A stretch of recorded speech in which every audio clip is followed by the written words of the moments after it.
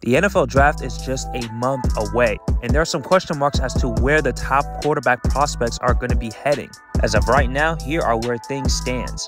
At number one, there's almost a consensus agreement, and it's pretty much Caleb Williams from USC. Right now, he's the favorite to go number one overall to the Chicago Bears, and things are not going to be changing, especially since the team just traded away Justin Fields to the Pittsburgh Steelers. And bearing any drastic changes, it seems like Caleb Williams will be a Chicago Bear. Now, going to the next quarterback, it's Jayden Daniels coming from LSU, and during this draft process, he is moving up in the rankings as he is now viewed as the second best quarterback in this class, and right now he's the favorite to go second overall to the Washington Commanders. And of course, the Commanders, they would love to get Caleb Williams, but there is a slim to none chance that he will be going number two overall, as the Commanders just hired Cliff Kingsbury to be their offensive coordinator, who has previous connections with Caleb Williams when the two used to be at USC. So as of right now, it seems to be a consensus agreement for the most part. Caleb Williams going number one overall to the Chicago Bears, and Jayden Daniels going second overall to the Washington Commanders. Now, this is where things get very interesting. Currently, the third team in the draft is the New England Patriots, and as of right now, Drake Maye is viewed as the third best quarterback. However, he is slowly trending in the opposite direction.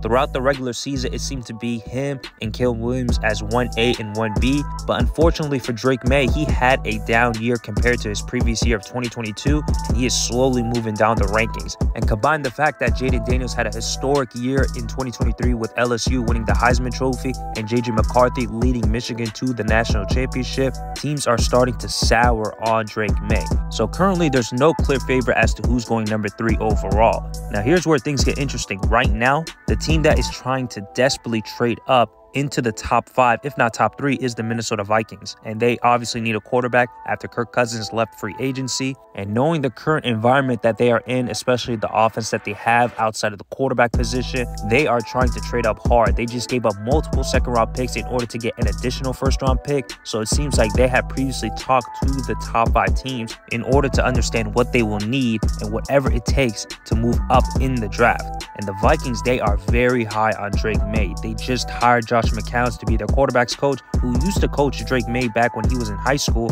And apparently, he, along with Sam Darnold, who just signed with the Vikings, they used to scout Drake Maye back when he was in high school. So the fact that both guys are in Minnesota seems to be a clear indication as to which quarterback they're going after. And ultimately, I do believe that will happen. The Vikings will make the trade up, even though the Patriots do need a quarterback, but their offense overall is horrendous. They do not have much talent to support the starting quarterback. So it seems like the Vikings will do whatever it takes in order to move up third overall. And ultimately, the Patriots will accumulate draft picks and eventually use the rest of the picks on offensive line and receivers in order to help out their future quarterback, whichever pick they use on whether it's this year or next year.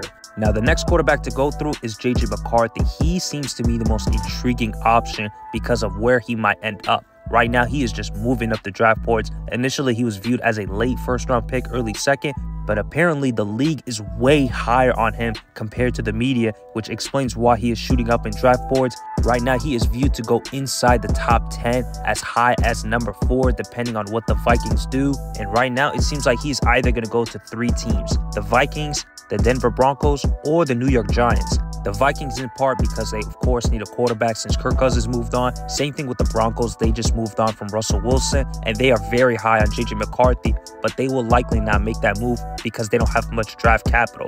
And if the Vikings do go after Drake Maye, it just pretty much leaves the New York Giants as the team to beat. And that's the ultimate prediction. JJ McCarthy will end up going to the New York Giants. And despite having Daniel Jones on a long term contract, the current regime did not draft Daniel Jones. So they necessarily do not have the ties to keep him long term if they do think so. Now, the next quarterback to go through is Bo Nix. Currently, he is viewed to go within the mid or late first round pick, but right now he seems to be the favorite to go to the Denver Broncos, which makes sense based on his playing style and Sean Payton on what he wants from his quarterback. He likes an accurate and efficient quarterback, pretty much a field general, and that's the strength of Bo Nix. And Denver, they don't have any long term options, so it seems pretty likely that Bo Nix will be going to Denver. Now, the last quarterback to go through is Michael Penix. It seems to be unlikely that he will be going in the first round, mainly because of his medical history and his age. so there's a good chance he will be going in the second round. And there are two teams that are in need of quarterback the New England Patriots and the Las Vegas Raiders. Now, if Penix does drop into the second round, the Patriots do have a higher draft pick, and it will not be surprising to see, knowing that they have extra draft capital if they do make that trade with the Minnesota Vikings. They will likely use that extra draft capital and just draft a quarterback in the second round, and that could be the case of Michael Penix. And those are the predictions of where the top quarterbacks will be heading. Let me know what you guys think down below. And that's all for now, you guys. Make sure to like the video, subscribe to the channel, and share with others, as I'll see you guys next time.